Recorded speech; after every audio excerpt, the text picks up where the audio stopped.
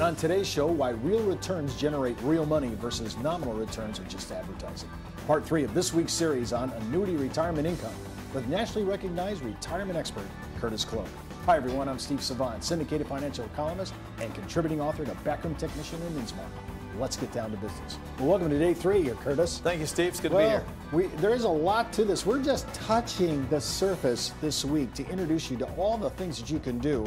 And I want to talk about the, this theory because so many people, they just throw these slides up and say, look at the return. And talk a little bit, give me a little difference on what's the definition of nominal versus real. Well, nominal returns is really what the market does. And, uh, you know, for if we just look at this slide here, Steve, uh, this is an interesting slide. Uh, what this slide is represented, by the way, I love this study done by Thornburg Investments, Real Return. There's a white paper that you can Google. They've been doing this for about 15 years.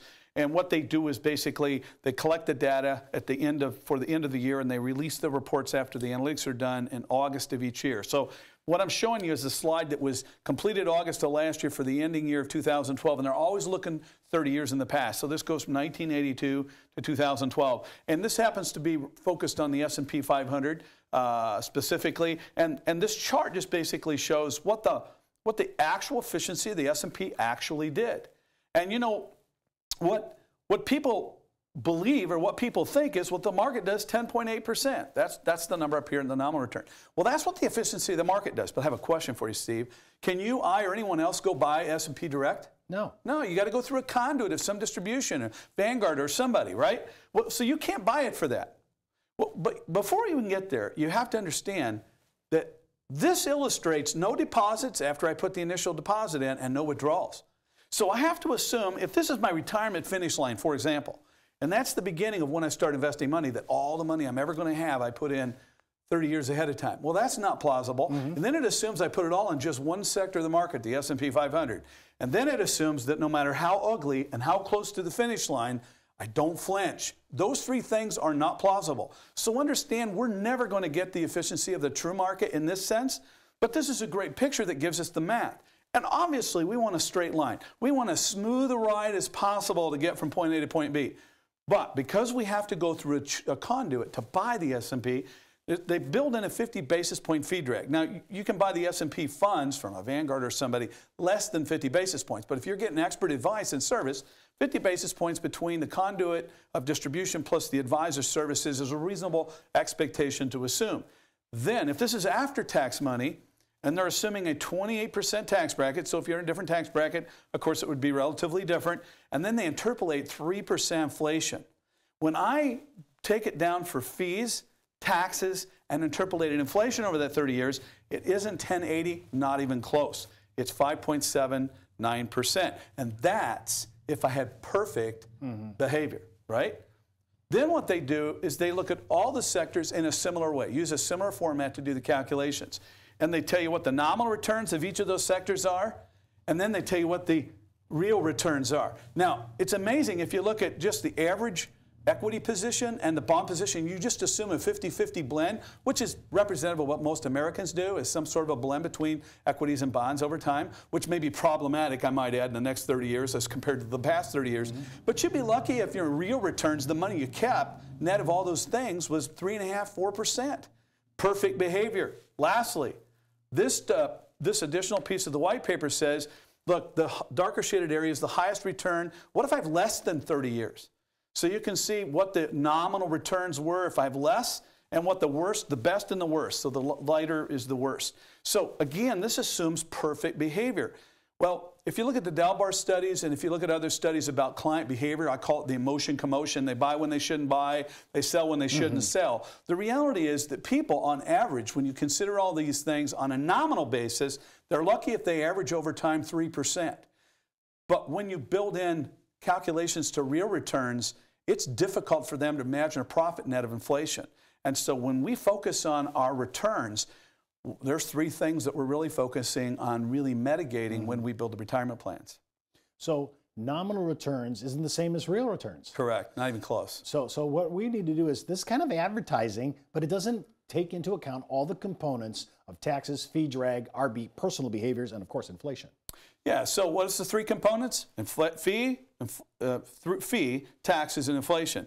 If I can focus on a way to buy income where I'm mitigating fees, mm-hmm. I'm mitigating taxes, not eliminating, but I'm mitigating. Mm-hmm. And fees I do eliminate, at- at least in the strategy we deal with, and I build in inflation adjusted income for the essential inflation level. I'm not going to take care of all hyperinflation issues. That's what the rest of the portfolio is for. I'm going to invest a piece in the market with an eye toward hyperinflation. But I can build in a 3% or 4% level of inflation. And when I do those three things in concert with one another, I can create a very efficient, not necessarily real return type of a retirement plan, but I can build a retirement plan that's a lot closer to providing implied yields and internal rates of return like or near like real returns as opposed to being far away from nominal returns. And so it just takes less of the portfolio to generate the necessary income to fill that jagged edge of gap that we talked about in a prior show.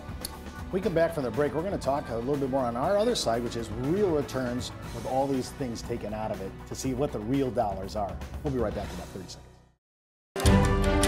Back in the day, life insurance professionals were called field underwriters. Then, carriers trained their field force in the basics of life insurance underwriting. Today, the insurance industry doesn't educate the agent population as they once did. But now you can have the informed risk guide at your fingertips so you can illustrate a reasonable rate class for your life insurance prospects. Just request your copy of the Informed Risk Guide at downtobusiness.ashbrokerage.com. It's free from Ash Brokerage, the practice enhancement company. Okay, well, we're back with Curtis Cloke. Curtis, we're talking about uh, now we're going to do a little more reality, real money. Uh, let's talk about your three basic income strategies. And I like this because it really blocks it out for me and explains it. Walk, walk us through this. And I have to tell you, I, until I met you, I never heard of SWIP. okay.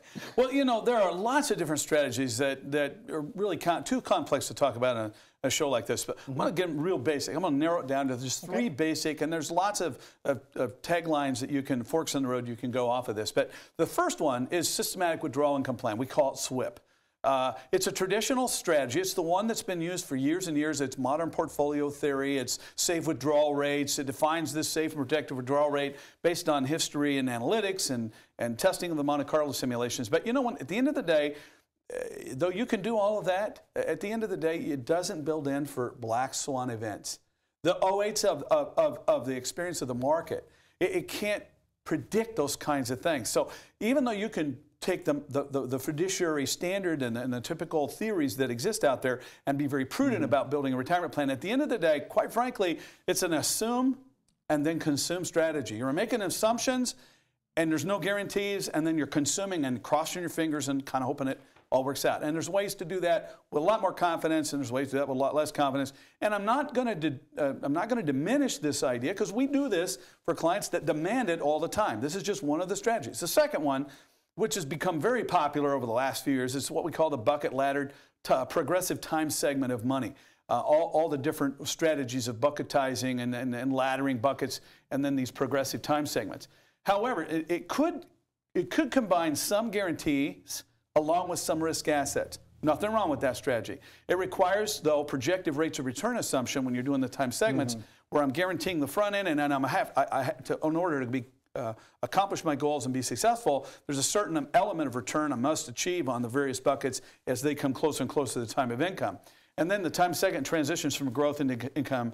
And of course, until it does transition to income, the money's certainly at risk. I, I get back into potentially the assume and consume unless I actually flip those to some sort of a, a guaranteed income later. Uh, but the one, the one that I really do favor a lot is the retirement income floor.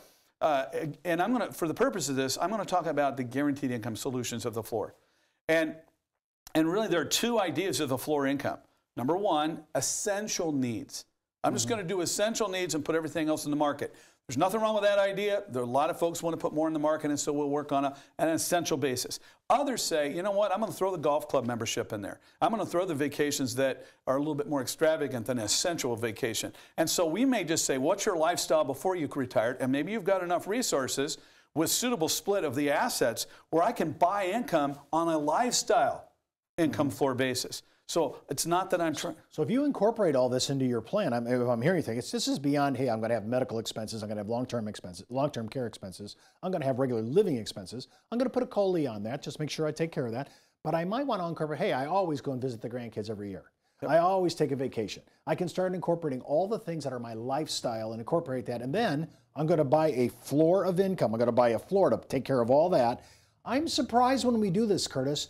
We're buying present value. We're going to shop the market again and say which one is going to cost me the least amount. Is and I'm always amazed at how much I have to do on the security side to pull that number off, and how much I have on the annuity side to pull this off. Well, again, I don't have to. I don't have to apologize for my returns. I can compete with the market when I when I drill out the fee drag, when I drill out the inflation, and when I consider the mitigation of some of the tax mm-hmm. on FIBO and FIFO. I don't have to apologize about these things.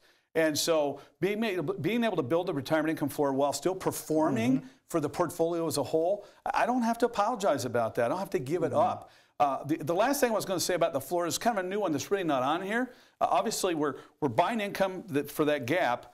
Uh, whether it's essential, whether it's lifestyle, and then the rest is for growth, liquidity, and legacy. But I like the last one I'm going to tell you about. There's some entrepreneurs out there who are also philanthropists, people that love giving money. There's a different idea of, mm-hmm. of, of retirement income floor that we're focused on with a whole subset of wealthy individuals right now. We don't call it the retirement income floor, we call it the retirement income max. Questions what's enough for us, me and my wife, and what's enough for them, the kids? I buy my life insurance, second to die, I pay it up. I buy my income, I, I create a, a, standard of living I say is extravagant enough, I don't need any more, build in a level of inflation, create some growth, liquidity, and legacy assets besides that, and then everything else, I just want to figure out how to affect the world. I want to have a life of significance. Mm-hmm. So those are the really the retirement income floor strategies, and they may be a hybrid. We do a lot of hybrids mm-hmm. where we're doing the bucket ladder time segment in, in addition to the retirement income floor. But the really where it's at, my opinion, is the floor strategy. No, I, I, think a lot of people say, well, Steve, I, I understand uh, SPIAs, and, and now you're introducing this new product we were talking about, which is really not new, these deferred income annuities. I'm, i know that, and there's the foundation, but a lot of people were not putting in COLAs. And one of the biggest objections to that is because they say, well, but then I, I lose at the bot, at the front end, I get a discounted premium or a discounted benefit. Well, what they don't understand is that we've tested thousands of these since mm-hmm. 1999. I mean, we really have a 10 year head start on the market in terms of testing these things. And the reality is, the longer you delay, the higher the IRR. The higher the COLA, the higher the IRR. The higher, longer you pay out, the higher the IRR. So when you're looking at it holistically, not with mm-hmm. just a single quote, and you're looking at all the math, you actually lift up the total performance of the portfolio and you actually over time shrink the assets that you need present value to fund that income. Well, that's all the time we have for today. Remember, before moving forward with any of the ideas you hear on our show, always consult your tax advisor, your legal counsel, and your broker dealer compliance officer. Missed an episode? You can go and view any of our past episodes at downtobusiness.ashbrokerage.com. And remember, you could be wiser as an Ash Brokerage advisor. I'm Steve Savant. We'll see you tomorrow.